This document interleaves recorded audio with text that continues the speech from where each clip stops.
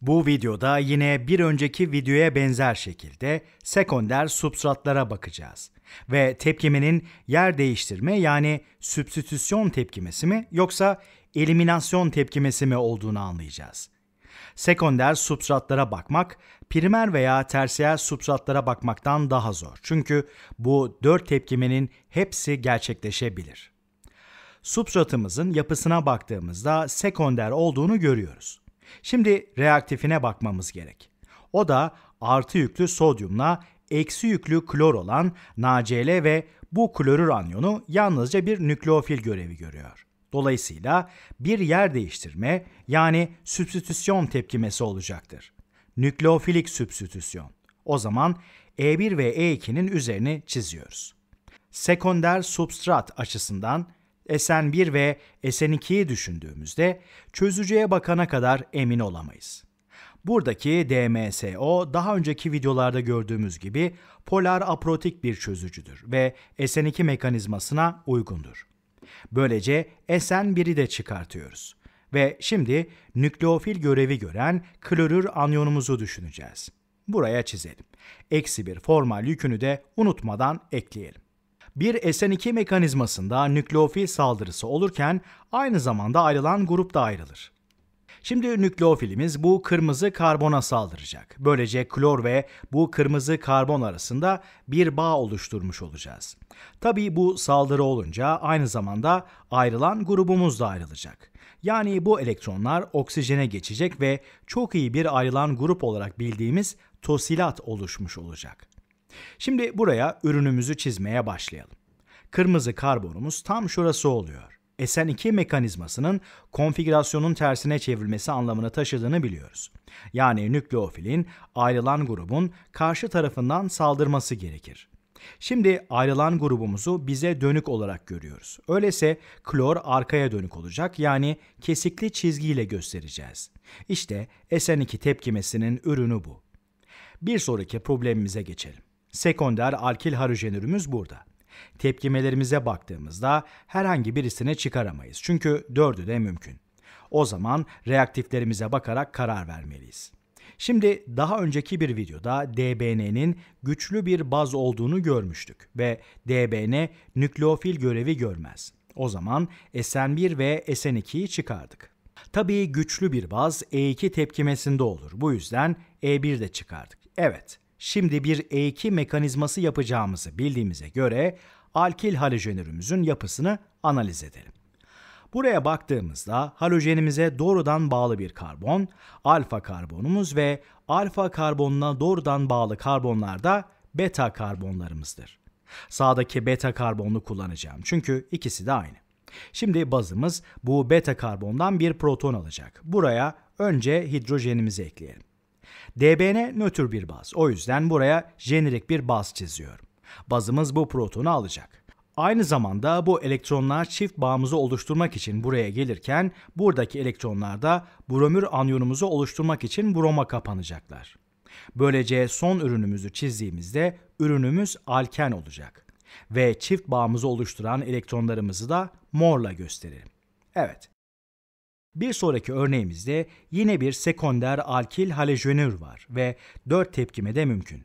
Ta ki reaktifimiz sodyum hidroksiti görene kadar. Sodyum hidroksit bildiğimiz gibi artı yüklü sodyumla eksi yüklü OH'tan oluşuyor ve hidroksit iyonunun güçlü bir nükleofil veya güçlü bir baz görevi görebildiğini biliyoruz. Ortada güçlü bir nükleofil varsa SN2 tepkimesini düşünürüz. SN1 değil. Güçlü bir baz varsa da E2 tepkimesini düşünürüz. E1 tepkimesini değil.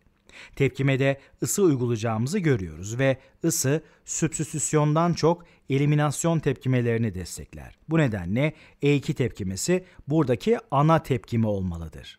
Alkil halojenürümüzü incelediğimizde halojene bağlı karbon alfa karbonumuz ve ona doğrudan bağlı karbonlarsa beta karbonlarımız oluyor. Burada iki tane beta karbonumuz var. Şimdi halkamızı numaralandıralım. Alfa karbonum 1 olsun. Saat yönde gidersem burası 2, 3, 4, 5 ve burası da 6. Evet, şimdi bunu buradaki sandalye konformasyonuna çevireceğiz. Öyleyse birinci karbonumuz tam şurası oluyor. İkinci karbonsa şurası. Üçüncü bu 4, 5 ve altıncı karbonsa şurası oluyor. Bromu şurada birinci karbon üzerinde bize dönük bir şekilde görüyoruz. Bu yüzden yukarıda olması lazım. Yani buradaki birinci karbona yukarı aksiyel olan bromu ekliyoruz. İkinci karbonda ise bizden uzaklaşan bir metil grubu var. Bu yüzden aşağıya doğru olacak. Yani şuraya ikinci karbon üzerine aşağı aksiyel konumundaki metil grubumuzu çizelim. Şimdi buradaki ikinci karbon önemli ki kendisi beta karbonumuz. Tabi ayrıca bir diğer beta karbonumuz olan 6. karbonu da önemsiyoruz. Evet, şimdi bu beta karbonlarımıza hidrojenlerimizi ekleyelim. İkinci karbonda yukarı ekvatoral bir hidrojen ve altıncı karbonda ise bir tane aşağı aksiyel ve bir tane de yukarı ekvatoryal bir hidrojen olacak. E2 mekanizmamızı düşündüğümüzde güçlü bazımızın bir proton alacağını ve protonun halojenimize anti periplanar olması gerektiğini biliyoruz. Halojenimiz işaretleyecek olursak buradaki bromdur ve aksiyel konumda bulunuyor. O zaman bu broma anti periplanar olan bir proton almamız gerek. İlk önce ikinci karbona bir bakalım. İkinci karbonda halojene anti periplanar olan hidrojen yok ama altıncı karbonda bir tane var. Aşağı aksiyel olan şuradakinden bahsediyorum. Evet, böylece bazımız bu protonu alacak. Güçlü bir baz olan hidroksit iyonunu şuraya bir çizelim. Evet, şimdi hidroksit iyonu bu protonu alacak ve aynı zamanda bu elektronlar çift bağ oluşturmak için buraya gelirken aynı zamanda buradaki elektronlar da bromür iyonu oluşturmak için broma kapanacak. Öyleyse şimdi bu tepkime için ürünümüzü çizmeye başlayabiliriz. Önce halkamızı çiziyoruz. Artık birinci ve altıncı karbonlarda çift bağımız bulunuyor. Buraya çiziyoruz. Evet, ikinci karbonumuzda halen bizden uzaklaşan bir metil grubu bulunuyor. Onu da şu şekilde çiziyoruz. Görmek biraz zor ama şurada arkadaki kırmızı ile işaretlediğim bu elektronlar buraya gelerek ürünümüzdeki birinci ve altıncı karbon arasında bir çift bağ oluşturdular. Bu karbonları belirginleştirmek için rakamlarını yazayım. Bu 1, şu da 6. Tabi tekrarlayacak olursak IUPAC adlandırması değil. Sadece ürünümüzü başlangıçtakine kıyasla düşünelim diye yazıyorum. Evet, şimdi bu E2 tepkimemizin ana ürünü. Bazı ürünleri SN2 mekanizmamızdan elde etmekte mümkün olabilir. Ancak burada ısı olduğu için sübstitüsyondan çok eliminasyon tepkimesi olması daha mantıklı. Bir sonraki örneğimizde fosforik asit ve ısıyla sekonder bir alkolümüz var. Ve eliminasyon tepkimeleri ile ilgili videolarda bu tür problemlerden çokça görmüştük. Yani SN1 veya SN2 olmayacak ve güçlü bir bazımız yok. Bu yüzden E2 değil E1'i düşünüyoruz. Ve ilk adımımız daha iyi bir ayrılan grup oluşturmak için alkolümüzü protonlamak olacak.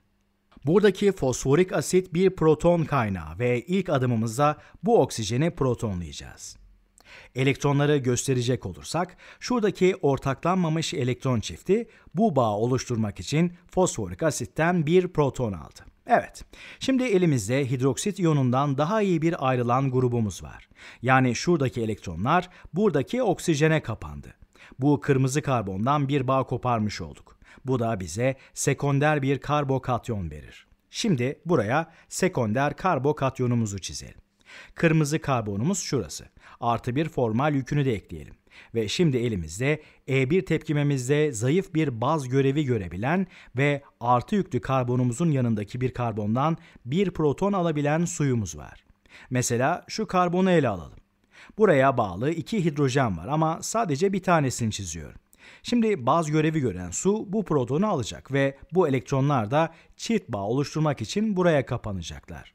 Şimdi son ürünümüzü buraya çizmeye başlayabiliriz. Evet, halkamız şöyle. Buradaki iki karbon arasında artık çift bağımız var. Elektronları gösterecek olursak, buradaki morla işaretlediğim elektronlar buraya gelerek ürünümüzdeki çift bağı oluşturmuş oldular. Ve ürünümüz bir sikloheksen. O halde sülfürik asit veya fosforik asit gibi bir madde kullanırsanız ve tepkimeyi ısıtırsanız sekonder bir alkol E1 tepkimesine uğrar. Evet, son örneğimizde bu sekonder alkil halojenürün sulu bir formik asit çözeltisiyle tepkimeye girdiğini görüyoruz. Formik asit zayıf bir nükleofildir ve su polar protik bir çözücüdür. Zayıf bir nükleofil ve polar protik bir çözücü aklımıza SN1 tipi bir mekanizma getiriyor. Çünkü polar protik bir çözücü olarak su, karbokatyon oluşumunu kararlı hale getirebilir. Öyleyse sonuçta oluşacak olan karbokatyonu çizelim. Şimdi bu elektronlar broma kapanacak ve böylece buradaki kırmızı karbondan bir bağ almış olacağız. Tabii bu durumda kırmızı karbon artı bir formal yük elde edecek. Şimdi karbokatyonumuzu çizmeye geçelim. Benzen halkamızı şöyle çiziyoruz. Pi elektronlarını da ekleyelim. Kırmızı karbonumuzsa tam şurası oluyor. Bağ kaybetmesiyle elde ettiği artı bir formal yükü de yanına ekleyelim. Tabii bu bir sekonder karbokatyondur ama aynı zamanda benzilik bir karbokatyondur. Aslında artı yük halkadaki pi elektronlarından dolayı delokalize olur. Yani bu çoğu sekonder karbokatyondan daha kararlıdır. Eğer SN1 tipi bir mekanizma düşünürsek bu karbokatyonumuz elektrofilimiz olurdu ve nükleofilimiz de formik asit olurdu. Daha önceki bir videoda karbonil oksijenin aslında bu oksijenden daha nükleofilik olduğunu görmüştük. O zaman karbonil oksijenin bir tane ortaklanmamış elektron çifti kırmızı karbonumuza saldıracak. Şimdi bu nükleofil saldırısının sonucunu şuraya çizerek gösterelim. Daha önceki bir videoda bunu ayrıntılı olarak ele aldığım için mekanizmaların tüm adımlarından bahsetmeyeceğim. Bahsettiğim video SN1 ve SN2'nin özet videosu. Evet, ürünümüzü çizelim. Burada karbon ve oksijen arasında çift bağımız var ve burada da bir hidrojen bulunuyor. Evet, böylece ürünümüzü çizmiş olduk. Bu karbon kiralite merkezi ve bu SN1 mekanizması olduğu ve karbokatyonumuzda düzlemsel bir geometriye sahip olduğumuz için nükleofilimiz her iki taraftan saldırabilir ve bir enantiyomer karışımı elde ederiz. Tabii burada birkaç adım atladım. Bu yüzden bu mekanizma hakkında daha fazla ayrıntı için lütfen SN1 ve SN2 özet videosunu izleyin. Evet, şimdi başka neler olabileceğini bir düşünelim. SN2'yi çıkardık. Karbokatyonumuzu oluşturduk. E1 mümkündür çünkü burada bir karbokatyonumuz var ve ayrıca bir de zayıf bir bazımız mevcut. Zayıf bazımız su gibi bir molekül olabilir. Buraya genel bir baz çiziyorum. Bu karbona da bir proton çizelim. Böylece bazımız bu protonu alacak ve bu elektronlar da çift bağ oluşturmak için buraya geçecekler. Şimdi bu diğer olası ürünümüzü çizelim. Önce benzen halkamızı çiziyoruz.